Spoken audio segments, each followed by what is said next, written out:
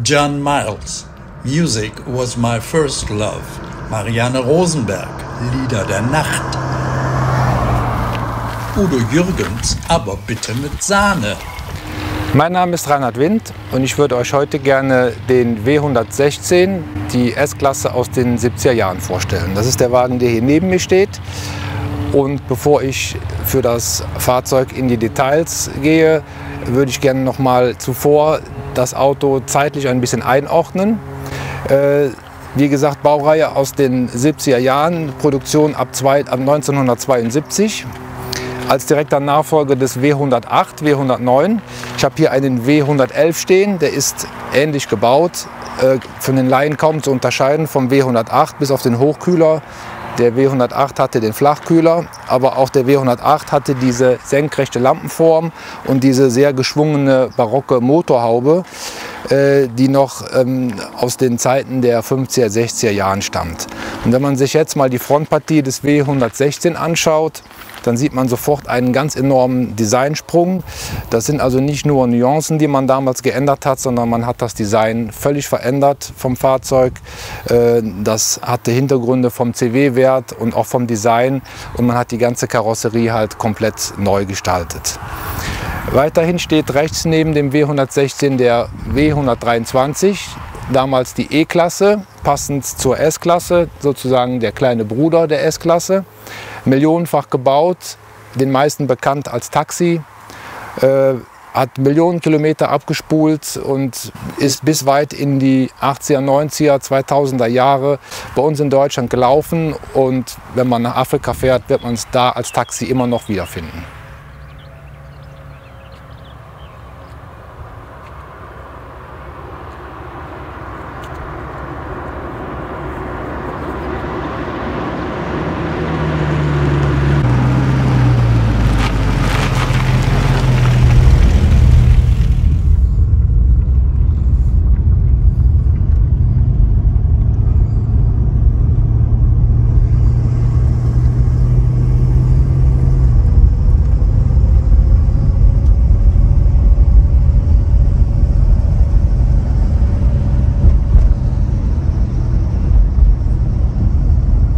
Von der Heckpartie kann man den enormen Designsprung äh, erkennen. Auch wenn es jetzt hier kein W108 ist, sondern W111, der ja damals noch diese spitzen Heckflossen hatte, äh, ist trotzdem der W108 auch von den Stoßstangen und von der Form her ähnlich gebaut. Und wenn man jetzt auf den 116er, das Nachfolgemodell, schaut, dann sieht man, wie enorm damals der Designsprung gewesen sein muss. Ähm, weiterhin kann man an diesem Fahrzeug noch erkennen, dass er die doppelte Stoßstangenführung übernommen hat von dem Vorgängermodell, was man an dem 123er Modell eben nicht mehr fortgeführt hat. Äh, ab der Baureihe W126, das ist der direkte Nachfolger von dem W116, ist es dann auch nur noch eine Stoßstange und keine doppelte Stoßstangenführung. Die Scheinwerfer an dem kleinen Bruder der E-Klasse sind genauso gebaut wie an der S-Klasse. Da erkennt man auch noch mal die Verwandtschaft dran. Und wenn man das jetzt hier aus der Kameraperspektive gut erkennen kann, seht ihr hier diese rillenförmigen angeordneten Scheinwerfer, die damals dafür sorgen sollten, dass äh, die äh, Verschmutzung relativ gering ausfällt. Was man allerdings vergessen hatte, dem Schmutz zu sagen, dass er natürlich auch super Gelegenheit hat, sich hier oben drauf abzusetzen. Äh, trotz und alledem verbleibt natürlich durch diese Form eine dreifache Oberfläche der Scheinwerfergläser, was äh, immer zu einem äh, guten ähm, Leuchtbild geführt hat.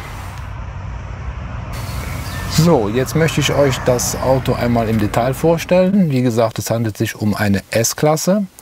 Äh, damals in den 70er Jahren sprach man bei Mercedes offiziell erstmalig von S-Klasse, denn bis, daher, äh, bis dato gab es noch keine vergleichbare E-Klasse dazu, sodass man äh, das Auto eben nicht mit S-Klasse bezeichnet hat. Die Vorgängermodelle W111 und W108 werden heute auch sicherlich mit S-Klasse bezeichnet, weil es halt riesige Fahrzeuge waren. Aber in den 70er Jahren mit der Baureihe W111 ist das eben offiziell von Mercedes eingeführt worden. So, da dieses Fahrzeug noch keine Standklimatisierung hatte, und wir jetzt gerade 32 Grad Außentemperatur haben, komme ich mal rausgekrabbelt und zeige euch noch mal von außen das schöne Auto.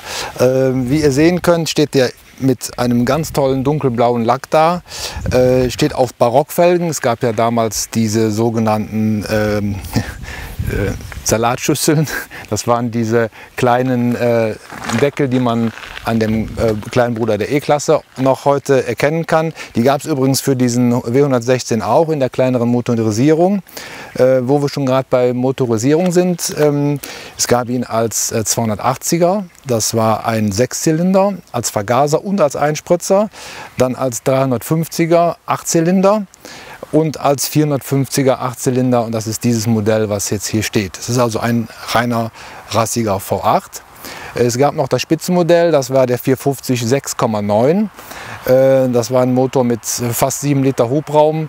Äh, den kann man sicherlich heute auch noch fahren, wenn man das nötige Kleingeld hat und äh, eine Anhängerkupplung für den Tankwagen, den man hinten dran hängen möchte. Was mir an diesem Auto ganz persönlich sehr gut gefällt, ist, dass der immer noch den Stern auf der Motorhaube hat, dass wir ein bisschen Chrom an den Stoßstangen haben. Auch hier der Scheibenwischer in Chrom, die Scheibenwischer an der Frontscheibe sind in Chrom gehalten. Sehr witzig übrigens, ich zeige es euch mal, die sind so parallel verlaufend, die Scheibenwischer. Bei der Heckflosse hat man ja diese Scheibenwischerform, bei der E-Klasse hat man diese Scheibenwischerform. Warum die jetzt so gebaut sind, weiß ich nicht, müsste ich vielleicht mal googeln. Ähm, aber das Wischbild ist wirklich optimal. Wenn man damit die Scheiben sauber macht, bleibt quasi gar kein Regen auf der Scheibe übrig. Ganz besonders gut an dem Auto finde ich, dass diese Chromleisten sich auch hier in der A-Säule wiederfinden. An der Frontscheibe, wir haben an der Seite diese ähm, Schutzleisten angebracht. Es gibt die Türgriffe, die sind auch voll verchromt. Das hat man damals bei der S-Klasse dem Auto halt so spendiert, um es optisch ein bisschen wertiger zu machen. Auch an der Heckpartie finden sich diese ganzen Chrom-Applikationen wieder. Hier haben wir so eine so ein Griff aus Chrom, diese doppelte äh, Stoßstangenführung, das äh, Zeichen für die Motorisierung. Und wenn wir hier in den Kofferraum reinschauen, dann kann man sehen, damals hatte das Wort Kofferraum wirklich noch eine Bedeutung. Äh, das ist schon nicht mehr vergleichbar mit heutigen Fahrzeugen. Ich will jetzt nicht sagen, was man hier drin verstecken kann, wenn man irgendwas transportieren möchte, aber es geht schon einiges rein. So wie ihr an dem Typenschild am Kofferraumdeckel erkennen konntet, handelt es sich um ein 450 SE. Das Fahrzeug gab es auch als SEL, also als Langversion. Bei dem handelt es sich um einen SE, das ist der kurze Radstand. Äh, der ist halt 10 cm kürzer wie der SEL. Der Hintergrund ist einfach der, der passt bei mir in die Garage, der andere hätte nicht reingepasst. Äh, den Motor, den 450er, den würde ich euch jetzt gerne zeigen. Dafür öffnen wir mal die Motorhaube, weil früher saß der Motor noch vorne unter der Motorhaube. Und wenn wir das jetzt hier öffnen, dann kommt ein wunderschöner V8 zum Vorschein mit 4,5 Litern Hubraum, 218 PS. Die 218 PS hatten die Fahrzeuge ab 1976. Äh, Davor äh, hatte das Auto 225 PS oder 224. Das lag an der Modifizierung der Motoreinstellung und an dem Wechsel von DJ-Tronik auf Kajetronik. Dieses Fahrzeug hat also schon eine Kajetronik.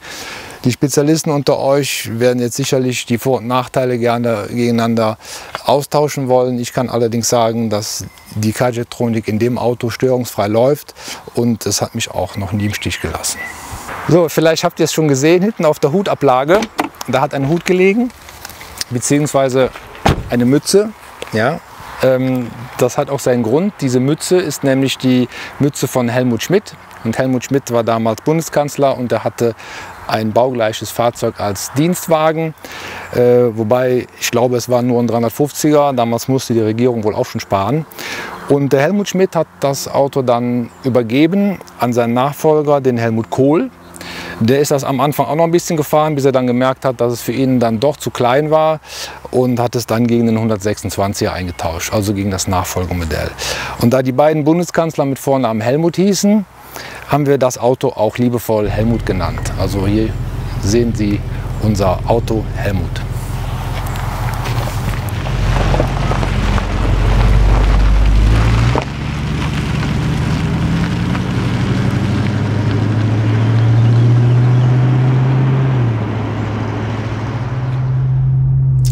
Neunzehnhundertsechsundsiebzig Asterix erobert Rom. Karl Gustav von Schweden heiratet Silvia Sommerlath. Und wir wecken rund um die Autos deine Erinnerungen. PS Palin Classic Cars Forever Young for You.